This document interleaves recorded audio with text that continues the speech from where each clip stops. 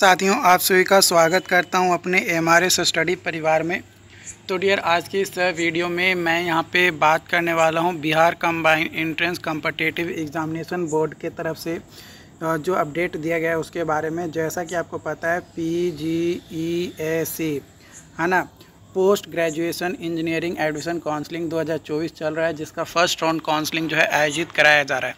तो ये जो फ़र्स्ट राउंड काउंसलिंग आयोजित कराया जा रहा है आपका 12 सितंबर से स्टार्ट हुआ था। 12 सितंबर को जो लोग गेट क्वालिफाइड थे, उन लोगों का जो है काउंसलिंग कराया गया। और जो लोग गेट क्वालिफाइड नहीं है, उन लोगों का काउंसलिंग जो है 13 सितंबर से 19 सितंबर तक होने वाला है।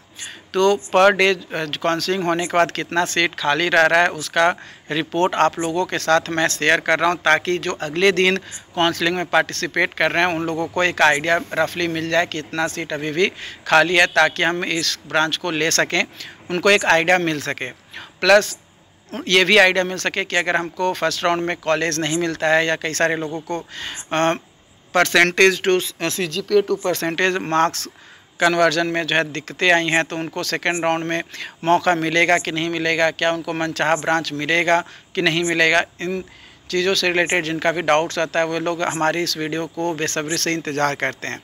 तो जो लोग भी इंतज़ार कर रहे हैं उन लोगों के लिए ये आ, मैं बताने वाला हूँ। तो आज आपका सत्रह सितंबर है और आज विश्वकर्मा पूजा भी था। तो उम्मीद करते हैं कि जो लोग हिंदू धर्म से रिलेट करते होंगे, वो बेसिकली वे लोग जो है विश्वकर्मा पूजा अपना मनाए होंगे, अच्छे से मनाए होंगे। सिंपली आप जिस भी चीज़ों का यूज़ करते हैं, जो कि आपको बेनिफिट देता है ऑब्वियसली उसका ख्याल आपको अच्छे से रखना होगा। जैसे आपका मोबाइल, लैपटॉप एक स्टूडेंट के लिए ही तो होता है। एक साइकिल अगर है तो साइकिल। तो इन सभी को प्यार से रखिए, संजोग कर रखिए। संजोग कर रखने का मतलब ये नहीं है कि आप उसका बिल्कुल ही यूज़ ना करें, क्योंकि वो आपने यूज़ के लिए ही लिया है। तो आपको तो वो यूज़ करना है।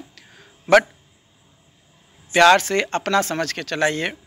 जैसे आप खुद रास्ते पे चलते हैं तो हर चीज़ से बच कर चलते हैं, वैसे ही जब आप साइकिल चलाते हो या बाइक चलाते हो, आपके पास जो भी है, साइकिल हो, बाइक हो हो सकता है कई सारे लोग ऐसे भी होंगे जो एलाइट फैमिली से बिलोंग करते होंगे तो उनके पास कार भी होगा।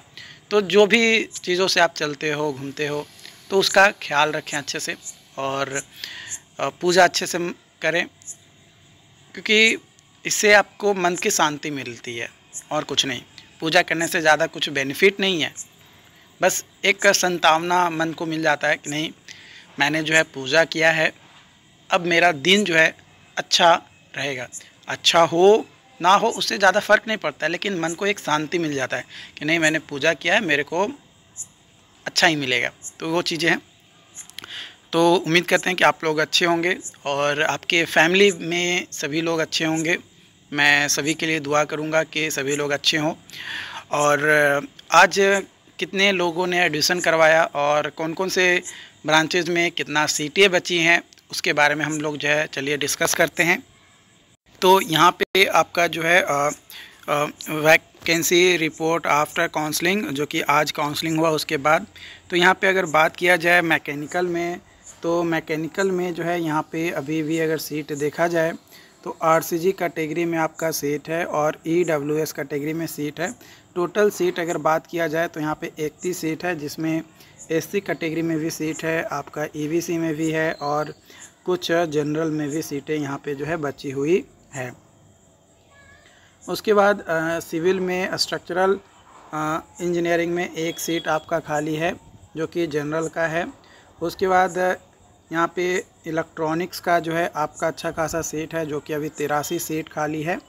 उसके बाद कंप्यूटर साइंस में आपका बात किया जाए तो पंद्रह सीटें खाली है कैटेगरी वाइज उसके बाद इलेक्ट्रिकल में आपका जो है इक्कीस सीटें आपका खाली है। कुछ कैटेगरी में सीटें हैं, कुछ कैटेगरी में सीटें बिल्कुल भी ख़त्म हो गया है, ये यहाँ पे देख सकते हो।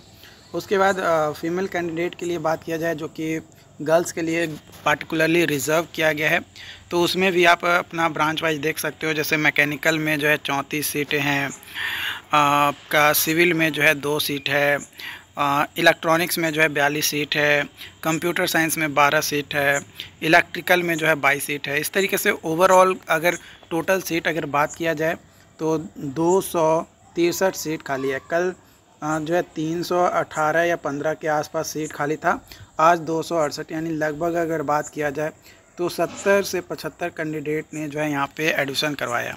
है ना, सत्तर से पचहत्तर कैंडिडेट जो है यहाँ पे एडमिशन करवाएँ। तो ये आपके लिए एक अपॉर्चुनिटी है।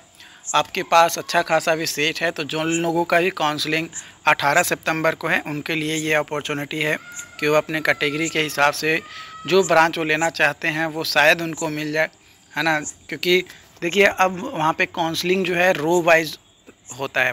और रो वाइज कैसे रहता है तो रो वाइज परसेंटेज के हिसाब से आपको वो शेड्यूल दिया गया तो रो वाइज आपका काउंसलिंग में अगर आपका पहला, दूसरा, तीसरा रो में रहेगा तो डेफिनेटली आपका काउंसलिंग में आपको जो कॉलेज चाहिए में भी मिल जाए।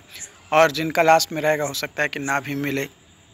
तो ये just depend on the counselling और जो भी ब्रांच आप लेना चाहते हो ब्रांच में सीटें हैं, आपके कैटेगरी में कि नहीं है, ये भी डिपेंड करता है कौन सा कॉलेज आप लेना चाहते हो। इन तमाम पॉइंट्स के ऊपर जो है डिपेंड करता है। बाकी इससे रिलेटेड जो भी अपडेट्स हैं, आप लोगों के साथ शेयर किया जाएगा। मिलते हैं नई वीडियो में नई अपडेट के साथ। Thank you